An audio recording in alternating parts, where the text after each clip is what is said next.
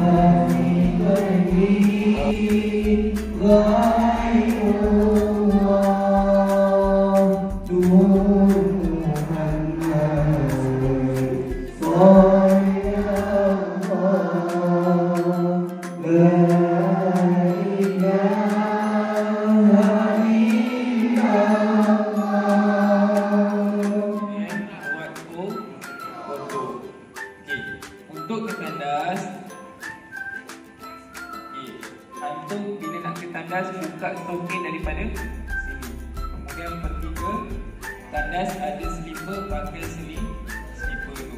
Kemudian cuci. Di samping tak